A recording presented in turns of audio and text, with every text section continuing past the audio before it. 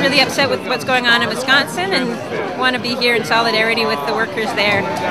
We went through a similar uh, situation with our own provincial government that uh, ripped up our contract and um, 2004? uh, it was it was yeah I believe it was 2004.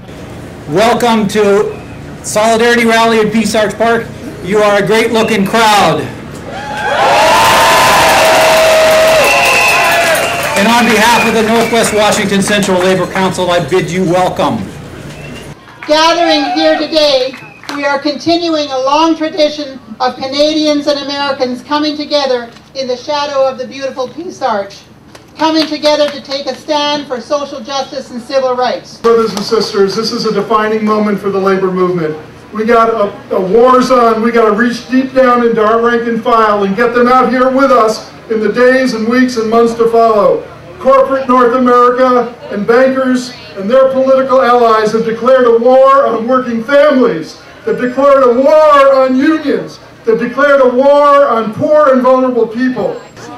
What they want to destroy is the most precious thing the labor movement has. That precious thing is our solidarity with each other as human beings and working people. That's what this is about. Those folks in power hate that solidarity. They don't like us. They don't like working people, but they really hate it when we have power because we have solidarity. And that's what this is about. We've got a message for them, even though it's not our country, that you better be careful. The AFL-CIO is a very strong organization. And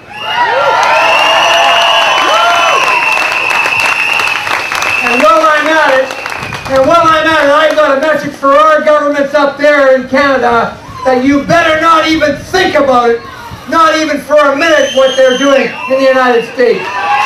Not for a minute. We stand together today in solidarity, holding hands across this border and extending our unity and our strength and our movement worldwide. And we are so proud because we stand here in solidarity with the people of Wisconsin. The people of Wisconsin.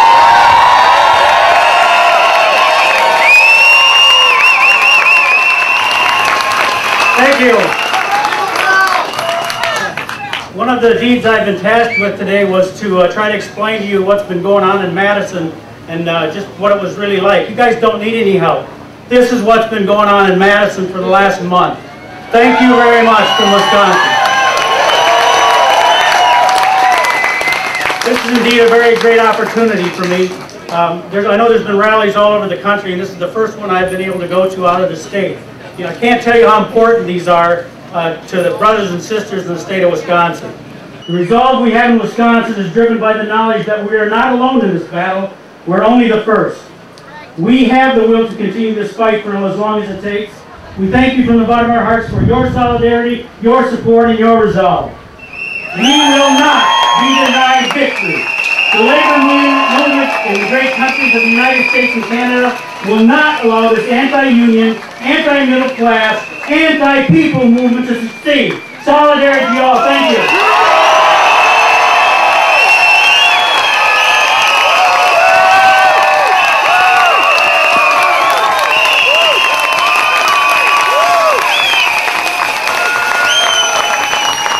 I have to tell you, this is uh, this is pretty awesome. It's good that we have Canada here, the state. It's good when warriors such as ourselves meet in the struggle of life and death. This is what it is. I look out in the audience, I see the best of the working class. To me, it seems like the universe is out of sync. Have you noticed this year we've had two earthquakes, one in New Zealand, one in Japan. It started with the revolt in Egypt in the desert. It went to Wisconsin, Syria, Libya, Ohio, Indiana, Canada, and Washington State. And it's continuing.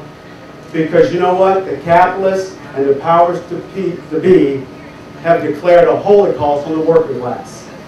This is a holocaust on us as Americans and Canadians and as a working class. Even Henry Ford, the great automaker, understood that you have to pay workers a decent wage and treat them with dignity and respect and pay them a good wage to buy the automobiles that he sells. And with the struggle that happened in Wisconsin, I don't blame them for fighting, because we have to fight.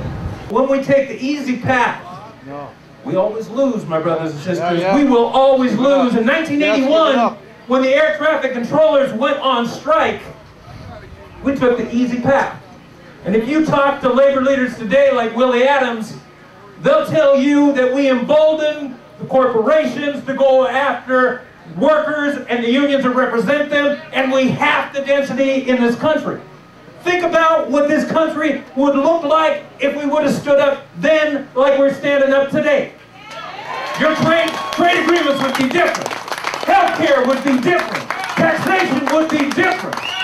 My brothers and sisters, think about this recession. Would we be cutting money to create jobs if we had the density we had in 1981? No, we wouldn't. But we're awake right now, aren't we? And all of a Right sudden, away. it's cool to be union.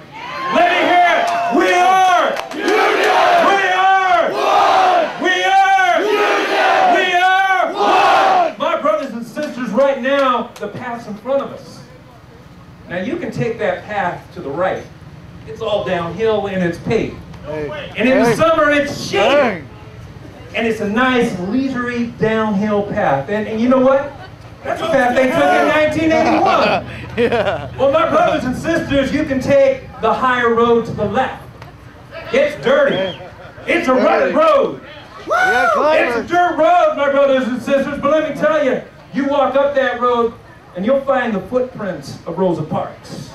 You'll, you'll be walking the steps of Dr. King. That's right. My brothers and sisters, I tell you, if you take that path, if you take that path, you'll be treading the path that 75 years ago your grandparents and great-grandparents took. Where they faced down bullets, they faced down clubs, that some of them, they all fought and some of them died. But they created the middle class. They made our lives better. You know, you know something? If you want to feed your kids and have them educated, or if you want a workplace that's safe Safe, and folks get a good job. Safety first. And they have pensions and health care. And if you want a planet, if you want a planet with an environment you'll be proud to pass on to next, the next generation, you'll take that high road. You will take that high road. My brothers and sisters, are you ready for the fight? Yeah! Damn right!